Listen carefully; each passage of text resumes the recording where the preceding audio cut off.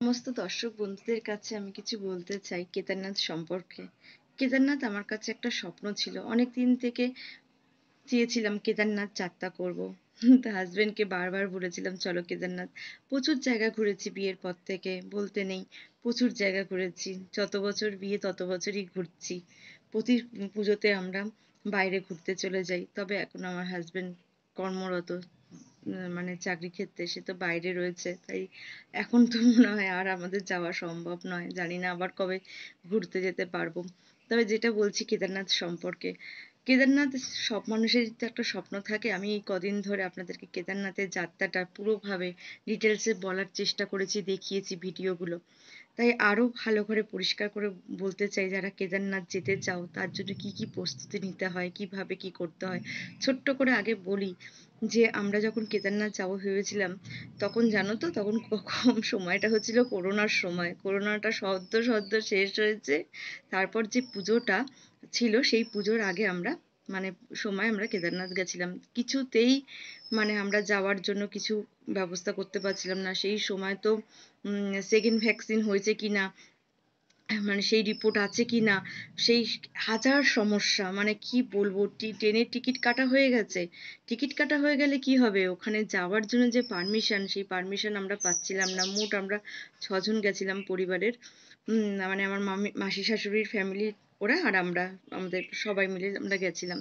কিন্তু গেলে যাব যে তার জন্য পারমিশন বের করা, সে কি সমস্যা? কম্পিউটারে যখনই দেখা যাচ্ছে মাত্র মানে এই লটে এই কজন যেতে পারবে। সঙ্গে সঙ্গে সেটাকে ফিল আপ হয়ে যাচ্ছে। মানে সেই রাত্রির জেগে সেই মানে মানে আমরা সেই মানে পারমিশন পাবো বলে যে লট দিচ্ছিল স্লটগুলো দিচ্ছিল, সেই স্লটে আমরা সেই বুকিং করতে পারছিলাম না। তার জন্য উত্তরাখণ্ডে যে ট্রাভেলার মানে সে, তার সাথে আমি যোগাযোগ করি। মানে সে, তাকেও কিন্তু এই হিসাবেই আমি ফেসবুক থেকে পাই। তাকে, সেই ভাইটি আমার অনেক সাহায্য করেছিল।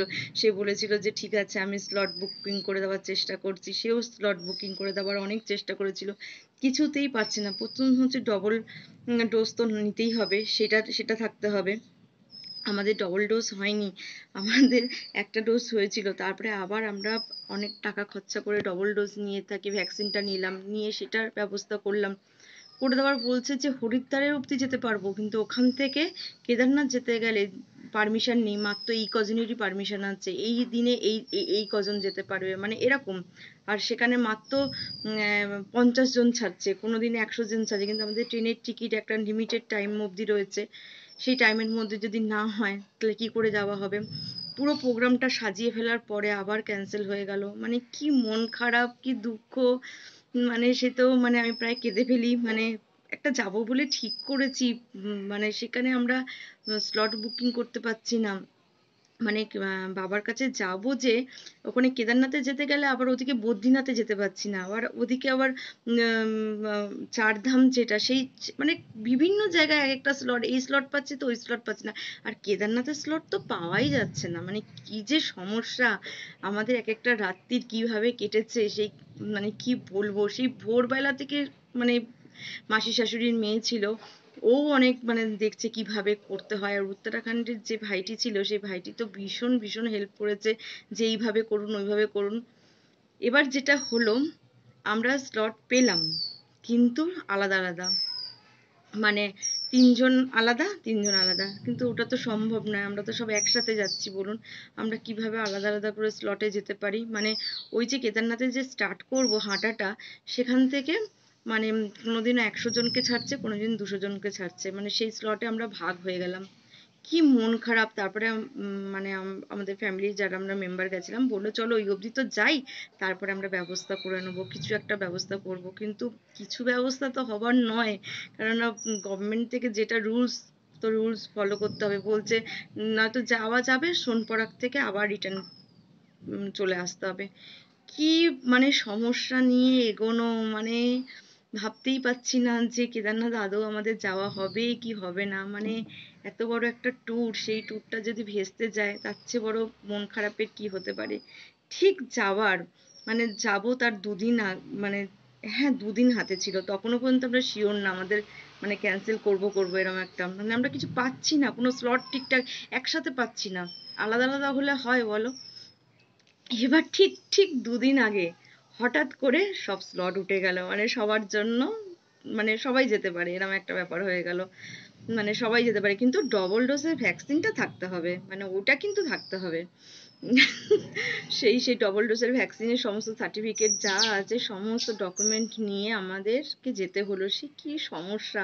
যাই হোক স্লটটা যে উঠে গেছে, যে সবাই যেতে পারবে, যদি ওইটা থাকে, তাহলে সবাই যেতে পারবে।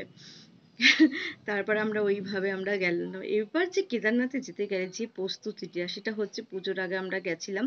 অবশ্যই জানো তো, ছোট ব্যাগ করবে যখন তুমি ওই তোমরা ওই মানে আমি সবাইকে তুমি বলে ডাকছি সেটা আমার উচিত না। আপনি করে বলাটাই কাম্য।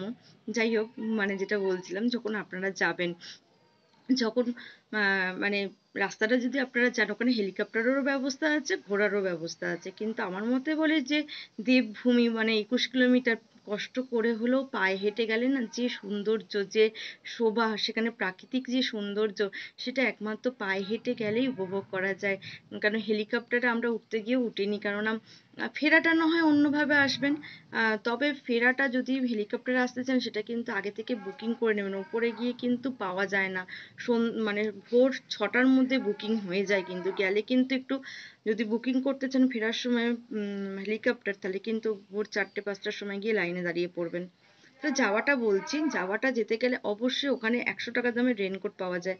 ওটা নিয়ে নেবেন। কেন? পাহাড়ের কোলে যেতে গেলে মাঝে মাঝে কিন্তু বৃষ্টি পড়ে। যদি বা আমাদের লাক খুবই ভালো ছিল মানে আমাদের তো স্লটও খুলে গেছিল, আমরা গর্ব গিয়ে সেদিনকে, আমরা যেদিনকে গেছিলাম গর্ব গিয়েও সেদিনকেই ওপেন হয়েছিল। আর আমরা গর্ব গিয়ে ঢুকে বাবার মাথায় জল ঢাললাম, তার পরের দিনই গর্ব গিয়ে আবার বন্ধ হয়ে গেছিল। কোনো বৃষ্টি আমরা পাইনি, তবু আমি বলব অবশ্যই ক্যারি করতে, ওষুধ মেডিসিন ক্যারি করবেন। যার যে সমস্যা আছে, একটা ভলিনি তো রাখবেনই। পায়ে যদি কোনো ব্যথা হয়, হাঁটতে গেলে তো ব্যথা বেদনা তো হতেই পারে। মানে ও মানে সব রকম ওষুধ একটু একটু করে মেডিসিন ক্যারি করতে হবে। আর আপনি বেশি বড় ব্যাগ করবেন না। কারণ নিয়ে তো ক্যারি করে তো উঠতে হবে। একটা অবশ্যই ছাতা রাখবেন, একটা রেনকোট রাখবেন মেডিসিন রাখবেন, আর ছোটো ছোট বিস্কুটের প্যাকেট রাখবেন, আর পানীয় জলের ব্যবস্থা। বেশি বড় জল রাখতে হবে না, ছোট জলের বোতল রাখলেও হবে।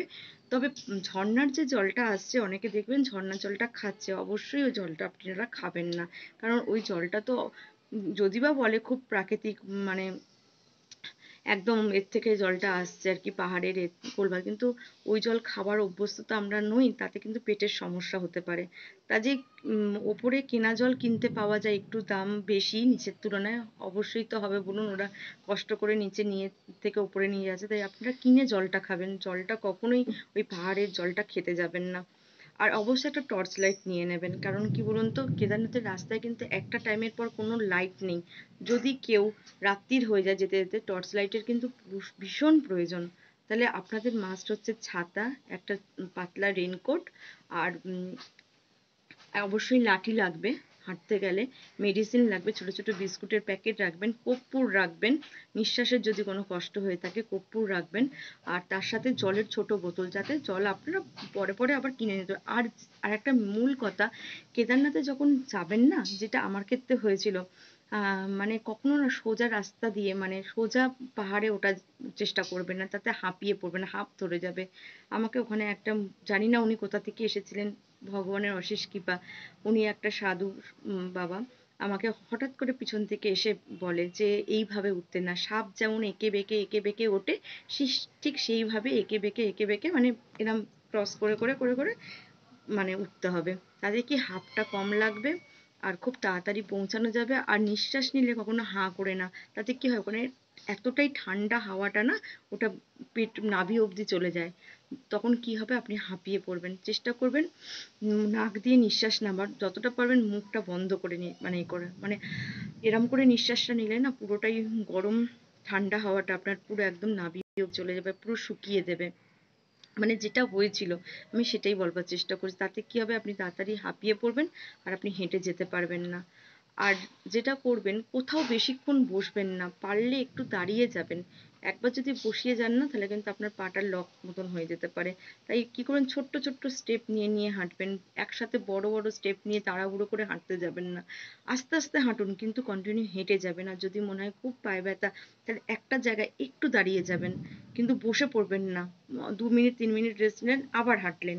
কিন্তু একবার যদি মনে করেন আধ ঘণ্টা রেস্ট নিয়ে নেব, এক ঘণ্টা রেস্ট নিয়ে নেব, তারপরে কিন্তু আপনার শরীর ছেড়ে দেবে। আপনি পৌঁছাতে পারবেন না।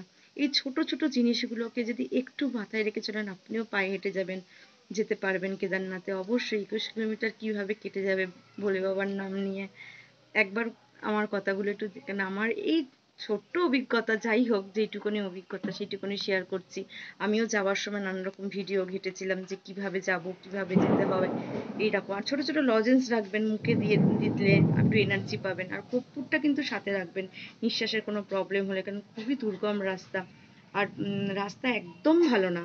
আর পাহাড়ের কোলভাগ ঘিরে হেঁটে যাবেন না কেন যে ঘোড়াগুলো যায় না, ওরা ভীষণ ওদের যে মালিক তাদের ছেড়ে দেয়। আর ঘোড়াগুলো পুরো গায়ের উপর এসে এসে পড়ে। এবার একটু খাই মানে একটু বেসাবধান হলে তো আপনি খাইতে পড়ে যাবেন। কাজে চেষ্টা করবেন পাহাড়ের কোলভাগ দিয়ে মানে একদম পাহাড়ের একদম ধার ঘেঁষে যাবেন না। পাহাড়ের যেদিকটা কোল, এটা রয়েছে, পাহাড় ঘেঁষে যাওয়ার চেষ্টা করবেন। যাতে ঘোড়াগুলো আপনাকে ধাক্কা না দিতে পারে। আর ওরা যায় না ধার ঘেঁষে। আর ধার ঘেঁষে যায় তো, ওরা কখনো কোল মানে পাহাড়ের ঘেঁষে যায় না। ওরা পাহাড়ের একদম ধার ঘেঁষে যায় ঘোড়াগুলো। তো ওইভাবে হাঁটার চেষ্টা করবেন, ছোট ছোট স্টেপ নিয়ে ঠিক ভোলে বাবার নাম নিয়ে পৌঁছে যেতে পারবেন। জয় কেদারনাথ একটু হলেও ট্যুরটাকে বলবার চেষ্টা করলাম। আপনারাও ঘুরে আসুন, খুবই ভালো লাগবে। মানে জীবন সার্থক হয়ে যাওয়ার মতন। আমার তো মনে হয় আমি যতগুলো ঘোরার জায়গায় গেছি, যতগুলো ট্যুর করেছি, তার মধ্যে কেদারনাথ, বদ্রীনাথ আমার কাছে বেস্ট লেগেছে। জয় বাবা ভোলেনাথ, জয় হরে কৃষ্ণ, রাধে রাধে। এখানে গঙ্গাটা তাও ঠিক আছে, গঙ্গা বলে। তাও শুকিয়ে গেছে। ওদিকটা তো ছড়া পড়ে গেছে।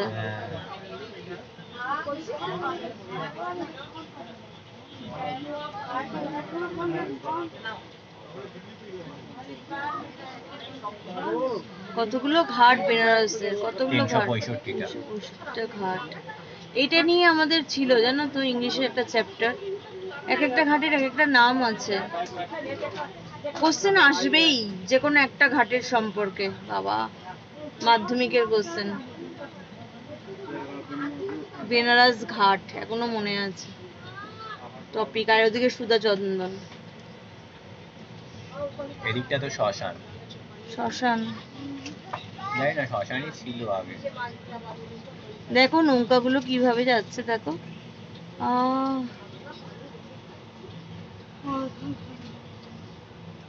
嗯。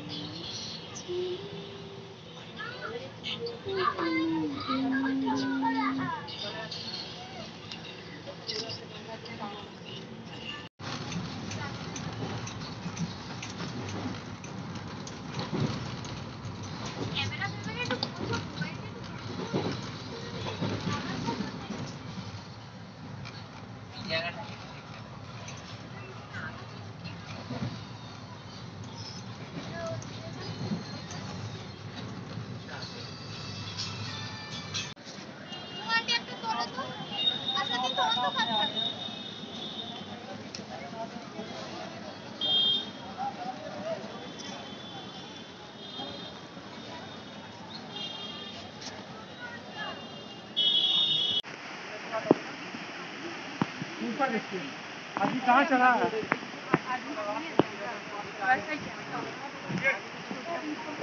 चला फ़ोटो खिंचाने के लिए।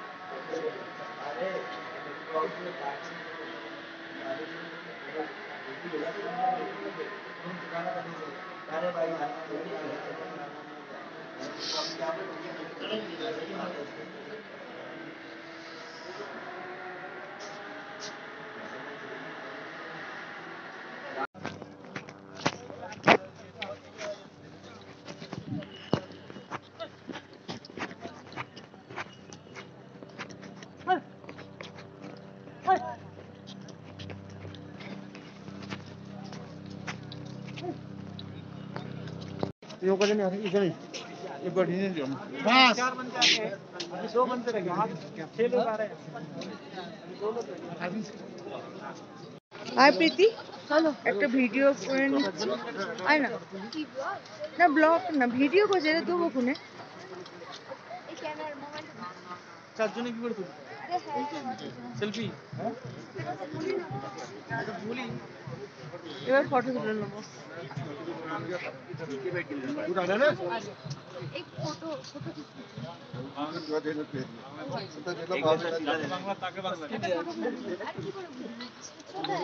এই যে আমার।